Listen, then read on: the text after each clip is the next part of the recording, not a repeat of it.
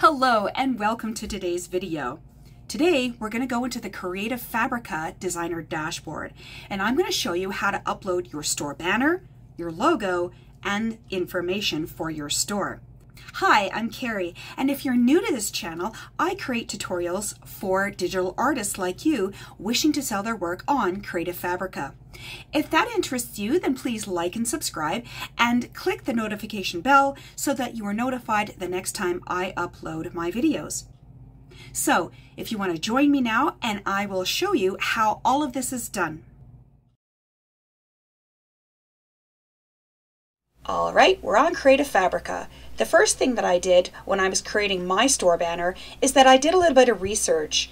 I went to other artists here on Creative Fabrica and was looking at their store banner, their thumbnails, and how they were presenting themselves on Creative Fabrica. So as an example, we're just going to go up to my profile, into my account, and then we're going to go into designers I follow. And here are some of the designers that I'm following right now. I chose these designers because number one, they were creating the same types of products that I make. Plus, I was looking at their store banner and I was also looking at their thumbnails. So this video isn't about creating thumbnails, however, I can make that at a later video. So as an example, let's see, let's just go to Anna Babik. She's an amazing artist on here. So as you can see, her thumbnails are amazing. Her work is amazing. But I'm looking at her banner. So what I like about her banner is that it's very colorful, it's very eye-catching, and it shows her artistic skills that she is providing for her customers. There is nothing on here except her work and her store name. Now, one thing you have to remember is that if you read through Creative Fabrica's um, uh, rules for setting up your store, is that one of those rules is that you cannot, when creating your banner or your thumbnails, you cannot put any third party links or URLs on your banner or your thumbnails. There is a place for you to, to upload those. You can see those here on her store. So there is a place to upload those, but Creative Fabrica would prefer you not advertising them on your banner or your thumbnails. Actually, it's one of the regulations that uh, you're not permitted to do on Creative Fabrica. So with that being said, let's go back. And here's another one that I follow.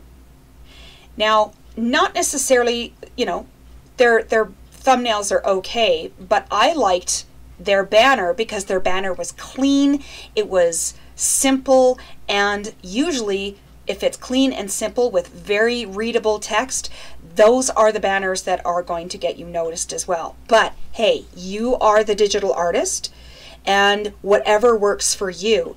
My advice is that to create a banner that doesn't look cluttered or confusing or uh, a lot of things going on in it. Here's another one that I follow. And they're amazing. One thing to notice is that he doesn't even have his store name on the banner. You can also do that if you wish. So as soon as they see your banner, customers will see what kind of skills and work that you do and that they will want to click. But this is entirely up to you. You are the artist. So my advice is that before you start creating your own banner, to go through and see what other artists are doing, what catches your eye. Now, if we go to my store, just as an example, I have my logo on my store banner. However, I don't put my logo here. I put my face and I prefer it that way because for me, my store logo is already up here. Why would I have it double right here? Also, if you notice that um, I am adhering to the regulations that Creative Fabrica sets out, I have no um, uh, website links here. All I have is my logo for my store. So I'm still within those regulations. And for me, I like people seeing who I am uh, in, in my logo box here. But once again, this is completely entirely up to you. So when creating this banner, let's come up to the store and go to your dashboard. Okay, and to the left of your dashboard, you're going to see here store settings. And this is where you're going to upload your banner, your logo, and include your information. Let's talk about your store banner first. To create this, I went to Canva. So here is my store banner in Canva. So I made sure that my size was 1220 by 250 pixels. And as I mentioned before, I did my welcome to, I put my logo on my banner, and then I just did a, a picture that I created for my website. I did the same background that I have on my website, and that's to keep my brand consistent through all my social media platforms. This is my sort of little model that I've always used on my website and also on my newsletters. A little bit of what you fancy does you good you're the artist. You do whatever you want to do. I would just go through, see what other artists are doing, and then create your own wonderful banner. So once I have this looking the way that I want and it's wonderful, then I download it. Um, and like I said, either a JPEG or a PNG file. Then I go back to my store settings page and I upload my banner. So I'm just going to re-upload this for you. In my directory, I have my store, I have Creative Fabrica, and then I have all of my uh, files. So to keep it organized, I make a folder for store details for my Creative Fabrica. I click on that, click on my banner, and here's my banner I just downloaded. And there you go. So another thing to keep in mind with your banner is that you can change this with the seasons. And many artists on Creative Fabrica do do that. And it helps your customers to know that you're always changing, you're always evolving, and you're always taking care of your store and looking after it. So you don't have to do uh, create a, a, seasonal banner, but I would suggest that um, every so often, maybe like once a year, maybe if you want to uh, change it up and uh, add a little bit more um, pop to it and or change it completely. This is entirely up to you. Now as I mentioned my logo I do have here already on my banner so I just find it counterintuitive to add it here as well. I like my customers seeing that there is an actual person behind the work that they are buying.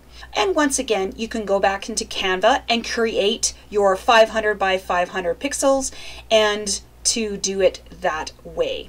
I'm not really going to show you how to create a logo. I would do some research online or on Creative Fabrica and just getting ideas. So the same thing with the banner.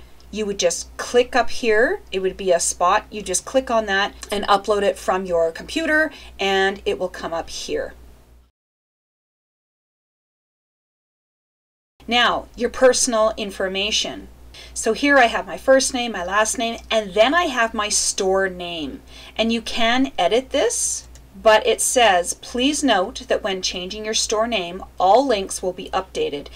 This means that you will need to update links from your site, social media, etc. I would think really carefully of your store name before you start uploading it or making your banner or your logo. Really make sure that you uh, do your research, make sure that uh, no one else on Creative Fabrica or even on Google has your store name because you don't want to be taking things down and changing links and it's just going to be a hassle.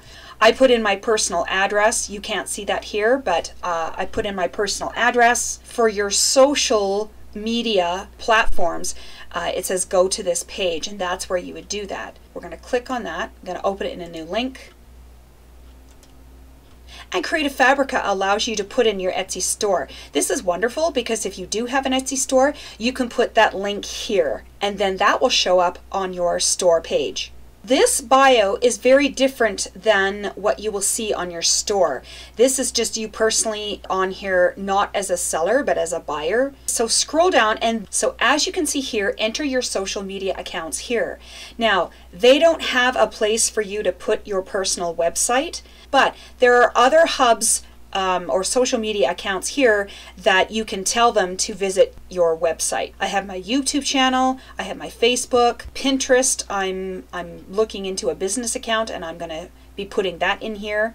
So once all of this is here, then that kind of sets up or it, at least it's the place to go to put your social media accounts. We go back to our store settings. So this is the info. So I introduce myself, hello, my name is Kerry, and I have a little bit of this and a little bit of that, all kinds of clip art, stickers, pattern page sets, and more for your next awesome creative project. You can um, expand this as little or as much as you want. I can't really say what works and what doesn't because it's not necessarily the description that brings customers to your store. It's your work, it's your banner, it's what you do. As soon as they follow you when you upload your next project, they're they're notified. If they're following you, all of your followers will get that instant email from Creative Fabrica telling them that hey, you have a new product on your store. I wouldn't go too much detail in with this. I would introduce yourself and what who you are, maybe where you're from, but especially what you do on your store, what products you create. I think that's important but I wouldn't go really crazy with this. Here is your email settings. That is completely entirely up to you. Company data. So I haven't filled any of these fields out for my store. Right now, I'm not too, too worried about this. If you want to fill this in, go ahead, completely up to you, but I just haven't done mine yet. So after all of these things on your store settings page has been completed, make sure you click the update. Then just go back, to your store and then you can see your about logo and your banner. Thank you for joining me today. Hope this was of interest to you and it helped you a little bit. And we will see you in the next video. Thanks for watching.